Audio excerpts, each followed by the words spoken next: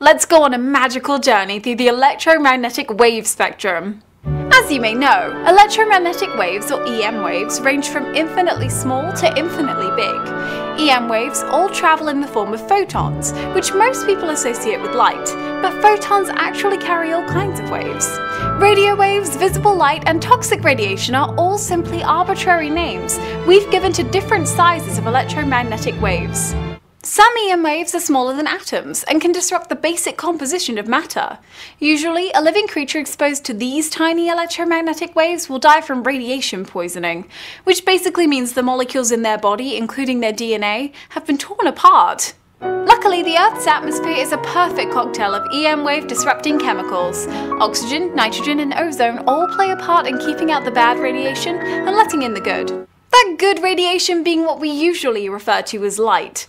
Although objectively speaking, there's really no difference between visible light and other kinds of radiation. We just happen to be unable to see anything smaller than ultraviolet waves, because it would interfere with our DNA. And we happen to be unable to see anything bigger than infrared waves because it's disrupted by the water in our eyes. However, some animals have discovered ways around this. The Pallas's long-tongued bat has adapted to see ultraviolet light. As a nocturnal animal, it only consumes ultraviolet light in small doses, and in turn, some flowers have adapted to attract the bats with ultraviolet coloured petals. To us, the flowers look pale, but the bats see them as vibrant.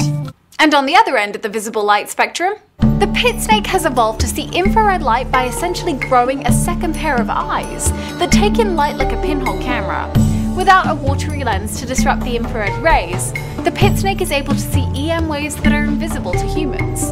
Its brain then combines this with the visual information gained from its standard eyes, essentially giving it heat vision. Different EM waves of different sizes resonate with different materials. Infrared waves are disrupted by water but not air. Visible light is stopped by wood but not glass. And radio waves can resonate through solid walls but not metal. It's strange to think that there is invisible light all around us, but we interact with it on a daily basis. Radio waves are used in all sorts of technology these days because of their ability to pass through walls. However, radio waves can interfere with other waves that are the exact same length, so most governments have to carefully regulate the crowded electromagnetic spectrum. You may recall that in 2009 the US government shut down analog television in order to make room for digital television. It's because there's only so much room in the air. Radio waves are the biggest waves in the electromagnetic spectrum and fortunately harmless to humans. In fact, our atmosphere allows radio waves to come and go, while more destructive waves are kept out.